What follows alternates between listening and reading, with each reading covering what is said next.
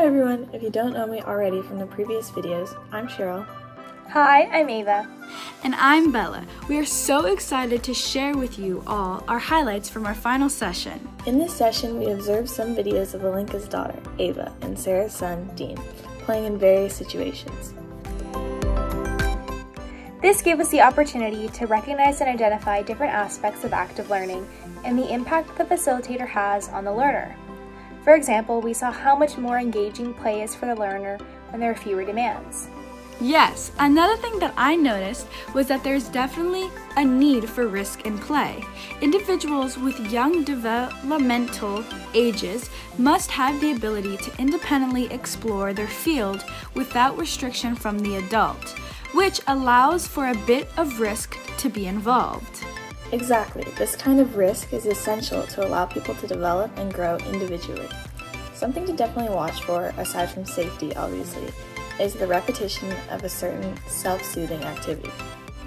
For some, this may look like singing or a certain song, repeating a tapping pattern, or even putting objects in their mouths. Great point, Cheryl. These kinds of nonverbal communicators are crucial to understanding all people, especially those with disabilities that make traditional verbal communication challenging. After learning all of this amazing information, it was so enlightening and incredible to see it all come together we watched Dean and Ava play. This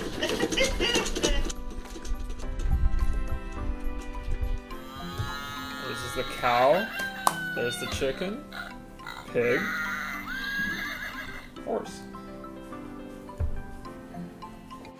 There is so much that we can take away from this information to applying to the education system. I often see the students on my high school campus doing activities that are not meaningful for their education. Students with young developmental ages are often told to do tasks like water plants or deliver mail. These are examples of passive learning, and they do not provide the opportunity for organic, active learning. These kinds of activities do not allow the student to grow and engage.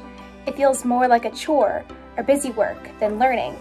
By implementing active learning in the programs at schools, students will experience exponential learning benefits.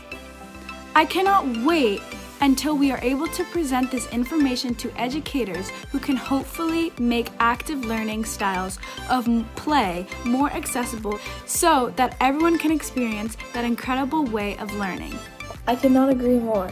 This project has been amazing and we are so privileged to be a part of it. As always, thank you for taking the time to learn more about our experiences. Have a magical day.